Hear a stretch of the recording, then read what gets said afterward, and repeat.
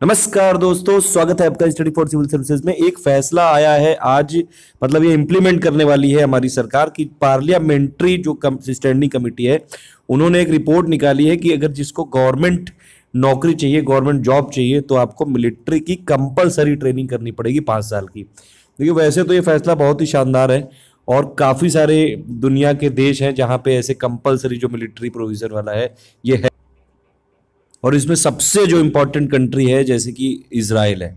काफ़ी सारे देशों में ऐसा होता है, बहुत ही अच्छा फैसला है, लेकिन देखिए, मेरा, मैं अभी एनालाइज कर रहा था ये चीज़ कि अगर आप इसमें ध्यान से समझिए ये बात कि अगर ये बोल दिया जाए कि आपको गवर्नमेंट जॉब चाहिए तो बताइए कौन नहीं इसके लिए रेडी होगा।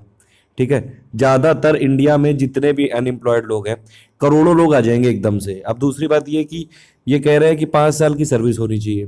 पाँच साल की सर्विस जो कंपलसरी होगी तो वो पहली बात तो इतना ज़्यादा अनएम्प्लॉयमेंट है तो लोग तो वैसे ही हो जाएँगे। तो मतलब सरकार को उसके लिए भी तो करना पड़ेगा ना, अगर ये वाली बात भी करनी है तो भी। और दूसरा मुझे ये चीज़ एक समझ में नहीं आती है कभी भी, कि जो भी हमारे नेता लोग होते हैं, जो हमारे एमपी लोग होते हैं, जो हमारे एमएलए लोग होते हैं, कभी उनके ऊपर क्यों नहीं ये सब चीज़ें होती हैं? क्या वो देश के नागरिक नहीं होते हैं? क्या वो देश की सेवा नहीं करते हैं? क्या वो देश को सर्व नहीं करते हैं?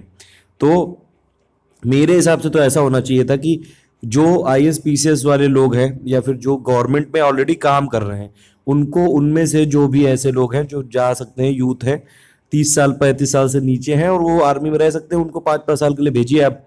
और या फिर जितने भी M P M L A वाले लोग हैं, ये लोग जो है, उनको भी भेजिए। इसमें मतलब सबका होना चाहिए ना पार्टिसिपेशन ये देश की सुरक्षा करने का जो जिम्मा है, वो सिर्फ़ नागरिकों ने ही थोड़ी ना ले रखा है, और ये जो M P M L A ये भी तो हमारे नागरिक हैं।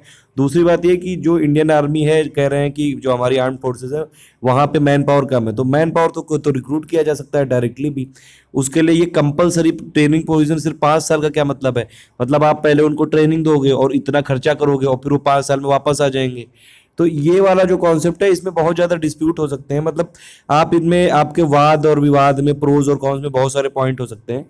ये एक याद करके रखिएगा थोड़ा सा तैयार करके रखिएगा। ये डिफेंस ऑप्शनल में भी आ सकता है यूपी यूपीपीसीएस में और इवन जीएस में भी आ सकता है यूपीएससी के मेंस में। काफ़ी अच्छा ये टॉपिक है और इसमें आप अपने अपने पॉइंट बताइए कि क्यों कंपलसरी जो आपकी मिलिट्री है, क्यों होनी चाहिए और क्यों नहीं होनी चाहिए? मेरे हिसाब से तो मैंने जो तर्क मुझे समझ में बता दिए मैंने। लेकिन हालाँकि जो मैंने तर्क बताया कि आप एम पी एम को क्यों नहीं करते वो आप एग्ज़ाम में नहीं लिख सकते हो क्योंकि ये पॉलिटिकली आप एग्ज़ाम में नहीं लिख सकते हो ये चीज़। समझ रहे हो आप? क्योंकि कोई अगर टीचर देखेगा तो वो सोचेगा कि यार ये वैसी चीज़ सोच रहा है ये।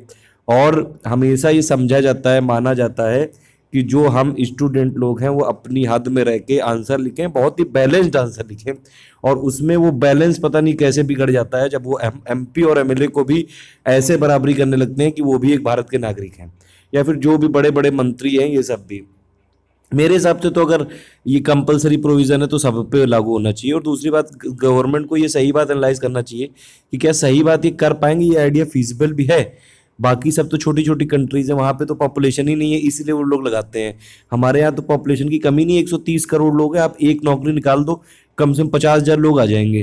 तो पहली बात तो ये कि अगर इसमें से भी चुनेंगे तो अब ये बात कैसी बोल रहे हैं कि सरकारी नौकरी चाहिए तो चाहिए तो सबको, लेकिन आप कैसे दोगे?